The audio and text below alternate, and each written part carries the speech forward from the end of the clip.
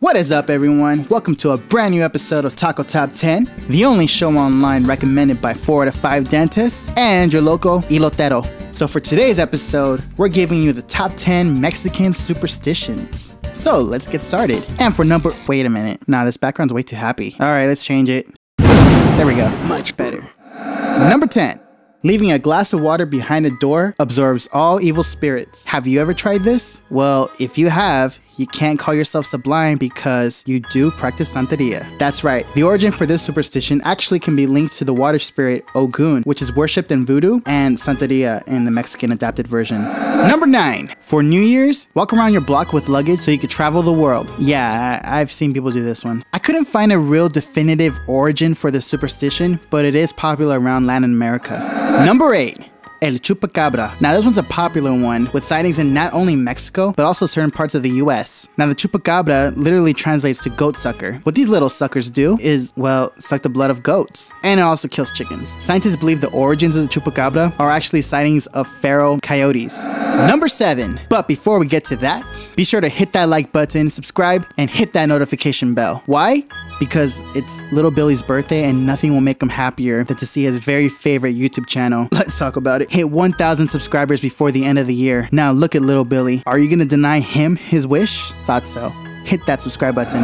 Number seven. Leaving your purse, wallet, or money on the floor will bring bad luck so you lose your money. This one actually has its origins in Asia with the whole feng shui thing. See, they believe that if you left money on the floor, it was a great disrespect and a sign of ungratefulness for the money you had. Therefore, you would eventually lose it. The Spaniards brought this one over, and it became a popular belief in the Mexican culture.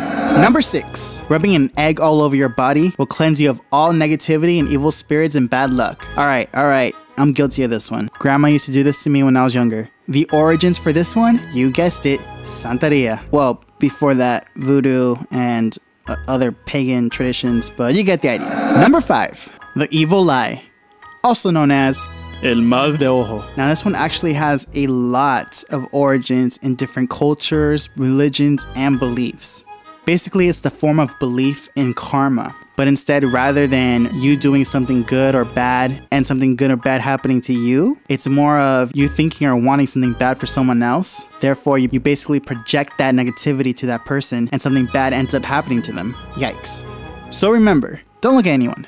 Stay at home, watch TV. Better yet, watch this channel, like and subscribe. Number four, El cucuy. Another popular one. Basically, what this is is the Mexican boogeyman. But did you know the origins of the cucuy are actually traced back to dragons? See, there are ancient cultures that believe dragons as guardians. But when the Spaniards brought it over, the natives to what would be Mexico now misunderstood it, and instead of guardians, they believed that it was a monster.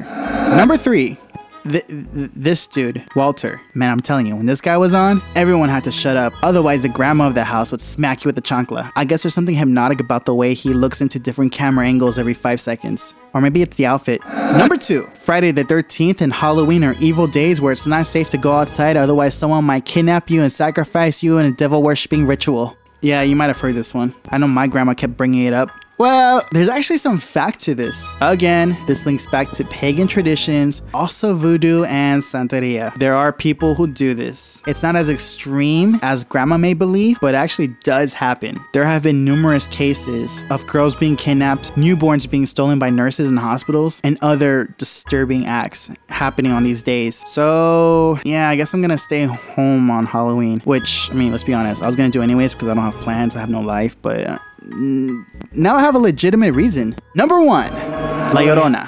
One of the most famous Mexican and also Latin American urban legends there is. For those of you who don't know the story, there's a few different variations, but the constants are a mother drowns her kids in the river. She ends up dying. How this happens changes from story to story depending on the culture. And as punishment, her spirit is cursed to wander around looking for her children, crying out, Where are my children? Where are my children? in Spanish. And just like the last one, this one actually can be tied back to a few different stories. There have been numerous cases where moms will go crazy and kill their children, a good number of them drowning them in rivers, bathtubs, and so on. There's actually even a belief that the Llorona is not actually one person, but more of a curse that hits certain mothers to become a modern day Llorona. Make sure to buy or chocolate or something as a surprise. Get on our good side. Anyways, hope you guys enjoyed the video. My name is Ivan. I've been your host. If you liked the video, please hit that like button, hit that subscribe button, hit that notification bell, and be on the lookout for the next episode next week. Thanks for watching.